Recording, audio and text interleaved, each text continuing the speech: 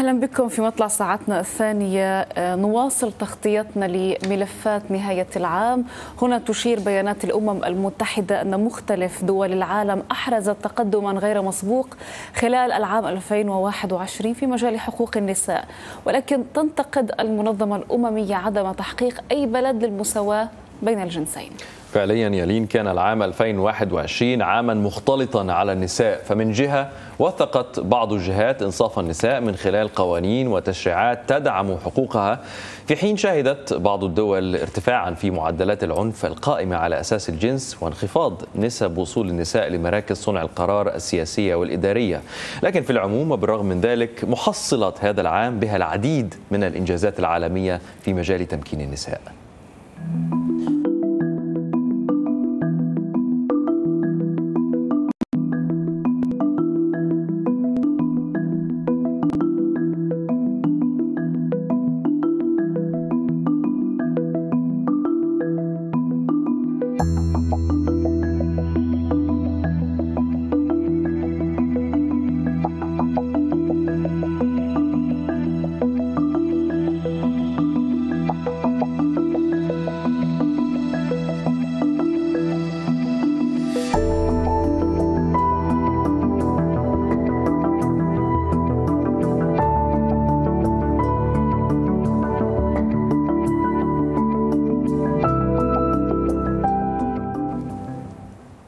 وتدرج الأمم المتحدة المساواة بين الجنسين ضمن أهداف التنمية المستدامة عالميا مؤكدة أهمية تمكين النساء في مختلف الدول وتشير المنظمة إلى أن العنف ضد النساء ظاهرة عالمية تعرقل هذه الجهود حيث تتعرض ثلث النساء للعنف الجسدي أو حتى الجنسي وهو ما يحتاج لقوانين رادعة للحد من تواصله.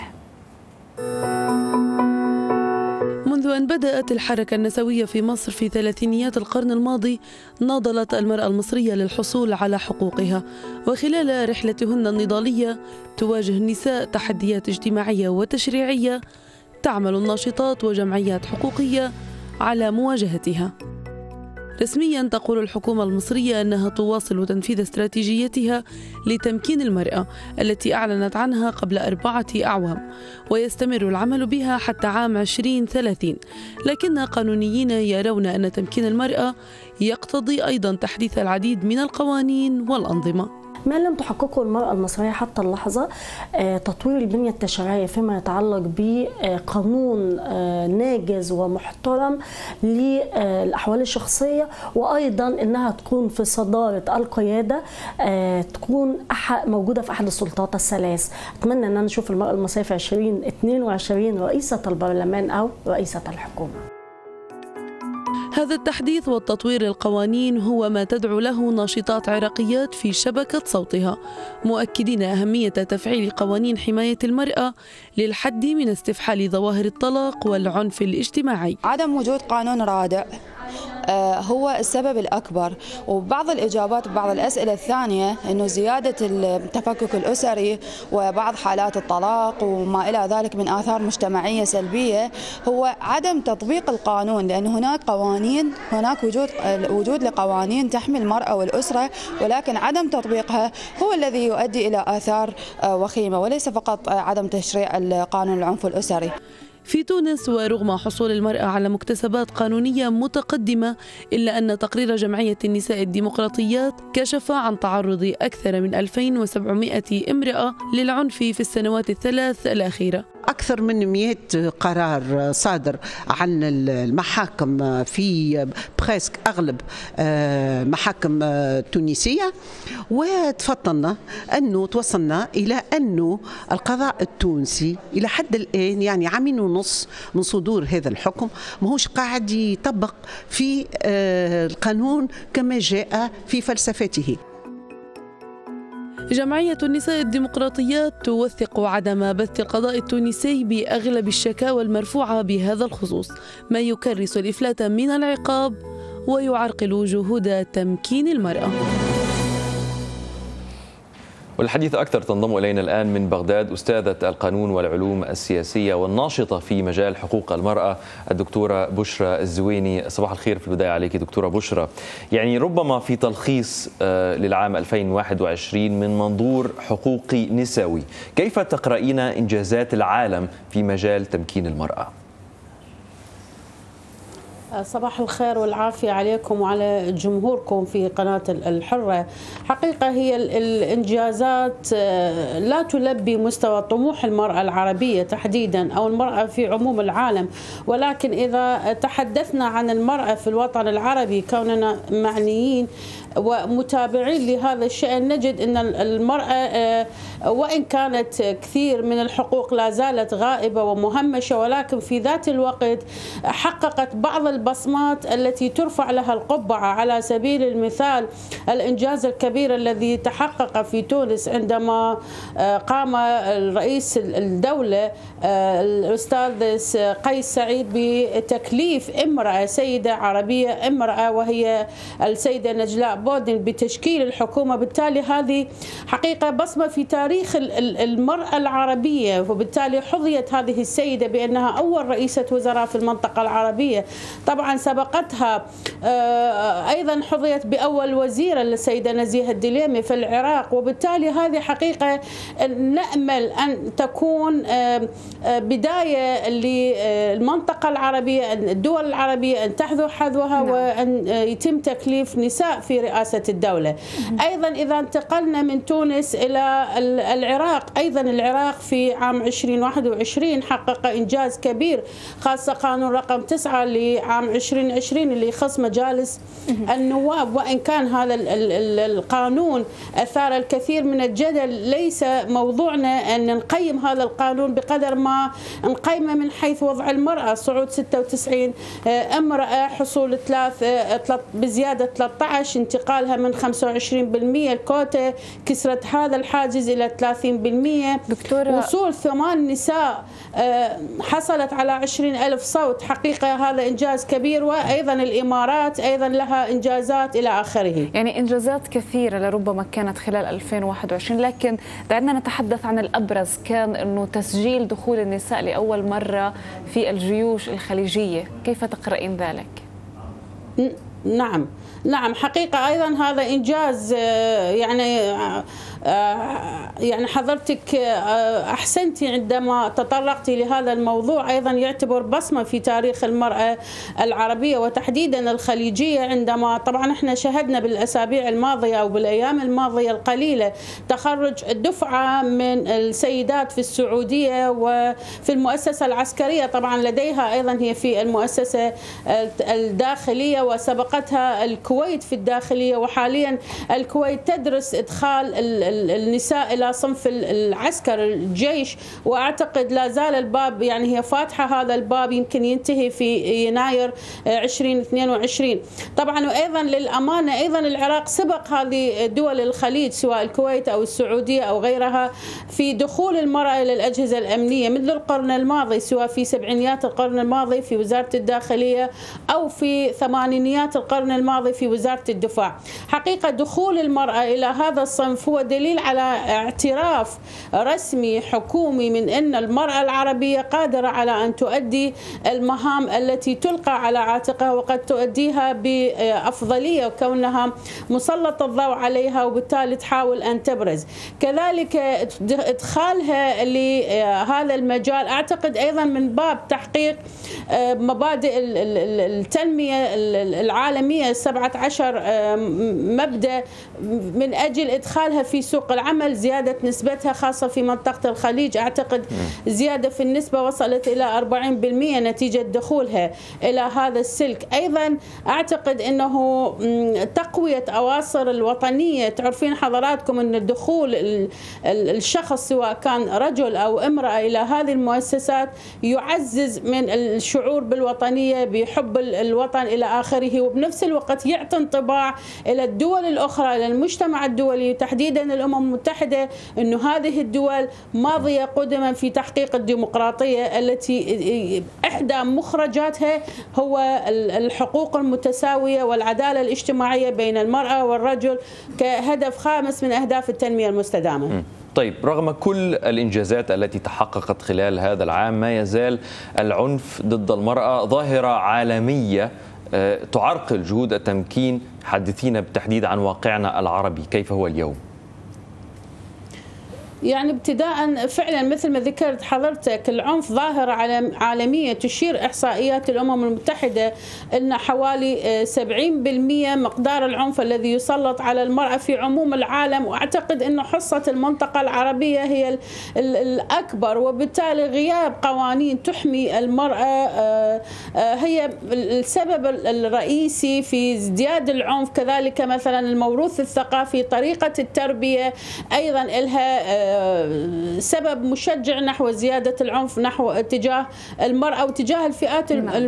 الهشة بصورة عامة كذلك حتى إذا وجدت القوانين مثل ما لاحظنا من خلال البرنامج اللي استعرضتوه أو المقطع اللي استعرضتوه أيضا مع وجود القوانين لكن هناك عنف بسبب أما المرأة نفسها لا تبلغ عن العنف الذي يقع عليها نتيجة التقاليد والعادات والأعراف أو تكون غير قادرة على الوصول إلى المراكز التي توفر آه، لها الحماية. فضلا عن آه، بعض العوائل تمنع نسائها وخاصة الزوجة في أن تقدم بلاغ لأن حقيقة تقديم بلاغ قد يعرقل أو حل المشاكل الأسرية وقد ينتهي بها إلى الطلاق. فكثير من المشاكل لذلك أغلب الأرقام التي تعلن من الجهات المعنية الخاصة بحماية المرأة من العنف هي غير آه، صحيحة أو بالأحرى. لا تعطي انطباع هذا المعلن عنه فقط هذا اللي تقدم شكوى فقط. فما بالك التي لا تستطيع أن تقدم شكوى للأسباب اللي ذكرناها؟ فضلا نعم. أن بعض الدول ليس لديها قوانين تحمي الأسرة وتحديدا المرأة. يعني إلى هذه اللحظة دكتورة بشرى لم يتم تقديم أي دولة لتقدم حيال التمييز ضد المرأة. يعني عند الحديث عن هذه النقطة كيف يمكن إنهاء هذه المعضلة؟ أو حتى التخفيف منها؟ آه، عفوا فقط عيد السؤال السؤال ما وصلني واضح بناء على بيانات رسمية أنه لم يتم تقديم أي دولة يعني تقدم حيال التمييز ضد المرأة كيف يمكن تخفيف وطأة هذا الموضوع؟ آه، فعلا هي مثل ما ذكرت لحضرتك أكو إنجازات ولكن إنجازات ليست بمستوى يلبي طموح المرأة العربية أو المرأة بصورة عامة في تحقيق آه، انهاء التمايز ضدها. لذلك آه، تسعى يفترض بكل دولة أن تسعى إلى أن تلتزم بأهداف التنمية المستدامة وإن كانت وإن كانت هذه الأهداف غير ملزمة لكن لا يمكن تحقيق استدامة لا يمكن تحقيق نمو اقتصادي وما لم يتم تفعيل الطرف الآخر. الدولة تبنى من خلال النساء والرجال وبالتالي تهميش نصف المجتمع هو يقف عائق ضد النمو. كل دولة من مصلحتها من مصلحتها أن تفعل هذا الموضوع أن تقضي على التمييز بين النساء والرجال أن تنهي العنف القائم على النوع الاجتماعي. وإلا أصبحت دولة متخلفة دولة جاهلة. النمو الاقتصادي لا يتم فيها يكون تراجع اقتصادي إلى آخره. فمن مصلحة الدول أن آه، تبني استراتيجيات مناهضة العنف القائم على النوع الاجتماعي وليس فقط بناء أو كتابة أو رسم استراتيجيات إنما تنفيذ مثل هذه الاستراتيجيات وأكيد يقع هذا التنفيذ على نعم. القطاعات الحكومية على مؤسسات المجتمع المدني على الإعلام أن تساهم فمثل يعني من مصلحة الدولة أن تمضي قدما في تقليل أو إنهاء التمايز القائم على العنف أكيد. عنف النوع الاجتماعي أشكرك أستاذة القانون والعلوم السياسية والناشطة في مجال حقوق المرأة. دكتورة بشرى الزويني شكرا جزيلا لك. إذا نبقى في موضوع المرأة على مدار حلقات برنامجنا خلال العام 2021 قمنا باستضافة وجوه نسائية عديدة بارزة في فقرة المرأة. شغلنا مناصب منوعة في مختلف المجالات ومختلف أيضا الفئات العمرية. آه، تحد يعني تحدثنا عن أبرز القضايا والإنجازات والتحديات التي تخص المرأة. دعونا نتابع نبذة عن أبرز هذه اللقاءات.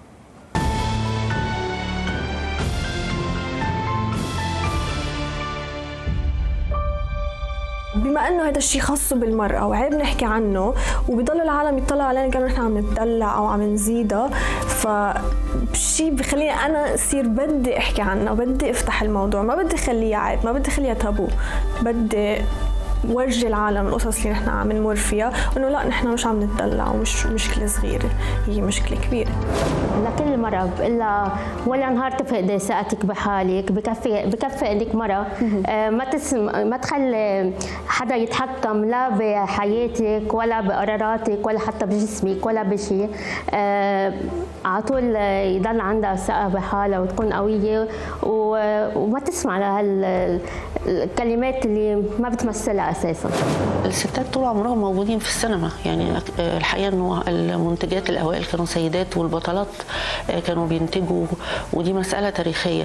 بس هو في أزمنة بيتم محاولات لإن هم يستبعدوا من اتخاذ القرار أو من أو من إنهم يبقوا أصحاب رأس المال. طبعا المرأة العربية وفي الآخر في آخر يعني 100 عام المرأة العربية حققت الكثير من القفزات في جميع الدول العربية وفي كثير من الدول العربية آه، آه، من خلال التعليم الدخول في سوق العمل.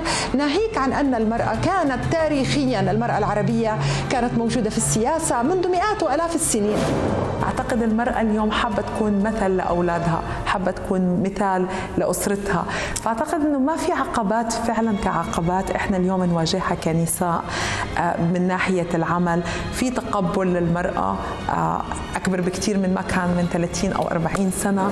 بالآخر الحريه اللي إحنا عم نطلبها جاي من آم، برايه نعم. طبعا آه، جاي من حالنا وجاي من دعمنا لبعض.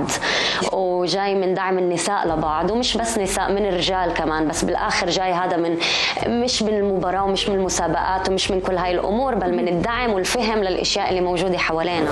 أصواتهن مسموعة ويتم الترويج لها حتى لا سيما في مكتبة الكونغرس من حيث البرنامج الذي لدينا فلقد قمنا برعاية مهرجان للكتاب وكانت النساء من العالم العربي جزءا لا يتجزأ من العروض. وهذه العروض متوفرة عبر البوابة الرقمية أيضا. باللحظات الأولى هيك شعور آه، الفخر. آه، الحمد لله يعني آه، تشوف أنت أول أول مباراة بتدخل فيها بدور المحترفين من الطموح ومن ال- لنحكي الأهداف والأحلام إنه نكون إحنا كحكام سيدات بدور المحترفين دور الأضواء بالأردن. إحنا الحقيقة في في مصر يعني متمتعين بفترة غير مسبوقة الحقيقة. ان إن إحنا بقينا في أماكن آه، بتمكن المرأة في مجالات مختلفة في مجالات عمرنا ما كنا نتخيل إنها هتبقى بالكثرة دي. يعني كان في تواجد للمراه بس تواجد مهمش وتواجد ما هواش حقيقي فعال. أنا كان عندي حلم وأنا عمري 14 سنة. كنت بطلة الجمهوريه وسالوني انت نفسك في إيه؟ قلت لهم في السباح العالمي عبد اللطيف أبو هيف. عل- رفع علم مصر في الخارج وأتمنى في يوم من الأيام أقدر أعمل حاجة لبلدي زيه. كان عمري 14 سنة وده سنة 57 ففضل الحلم ده جوايا ما ماتش. وفضلت وراه لغاية أما بدأت أحققه وعمري 67 سنة. وأنا حاليا عمري 79 سنة. لما بنتكلم عن فيلم دم هو غير موجه مثلا لل- للجنس الآخر لأن هم يتعرفوا على فكرة الدوره الشهرية وإنه هي إحنا ما بنتعرف عليها بشكل صحيح أو موسع مثلا في التعليم أو في الإعلام أو غيره لكن حتى هو موجه للنساء نفسهم. ودي هي يعني أنا بشوف إن هم حتى هم موجه لهم في الأول قبل أي شخص ثاني لأنه آم، التفكير الغلط أو عدم الدراية أو الجهل آه، متأصل آه، فينا إحنا حتى كنساء. ولما إحنا نبدأ نوعى أكثر ونعرف مشاكلنا أكثر وقتها هنا هيبدأ هيبدأ التغيير.